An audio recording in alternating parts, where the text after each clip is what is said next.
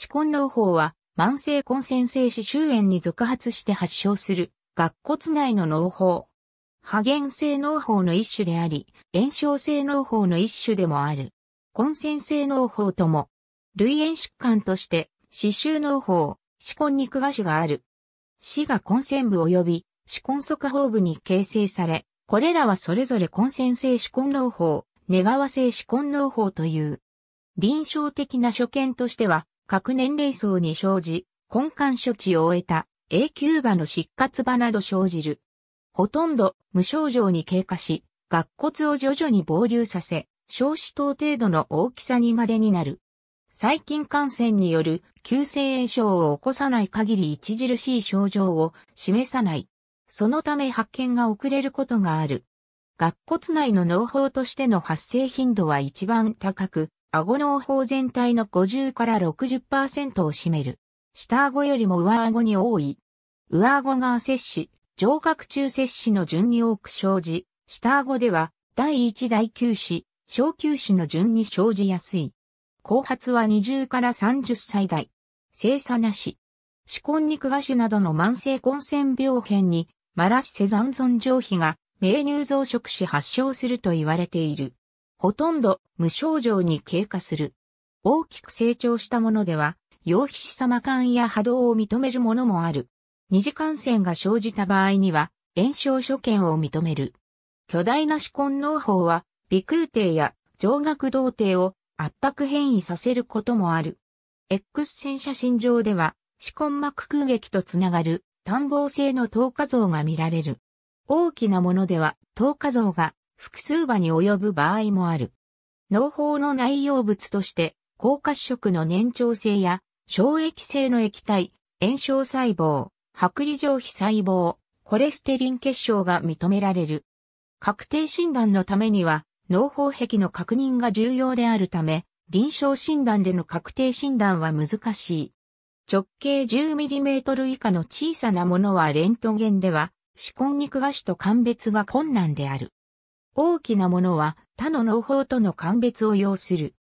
間欠的療法として、脳胞摘出術や回想術と歯根単節除術を行い、病巣が歯根を大きく含む場合は、抜歯を行う方法が一般的であるが、非間欠的治療として、鼻維持療法により治療する方法も試みられている。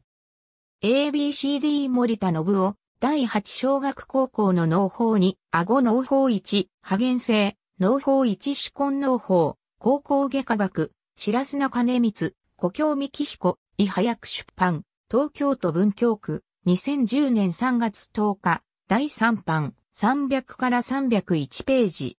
ISBN 978から4から263456354。運指導 BB01513588。ABCDE 佐藤博士、第3小学、学関節の疾患4、脳胞及び類似疾患1破原性、脳胞1歯根脳胞、高校学顔面疾患カラートラス形式編集、佐藤博士、白和力也、またが泉、道、健一、山根源の、監修道、健一、長末書店、京都市上京区、2001年8月23日、第1版、第2冊、182ページ。ISBN 4から8160109998。ABUA 村治三郎。一小歯科放射線診断学通覚論学骨の病変1、X 線透過性病変極在する X 線透過性病変1単方性あるいは多方性を示す X 線透過性病変 A 波原性脳胞歯根脳胞標準歯科放射線学監修サイレンジ英語編集淵畑武史野井倉武則岸漢字医学書院東京都文京区2000年5月1日第2版第1冊、148から149ページ。ISBN4 から260137263。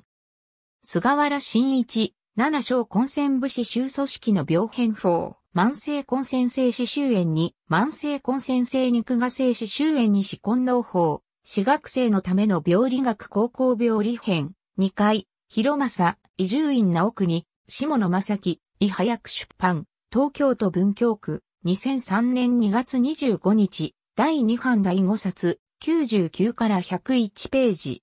ISBN 4から263454383。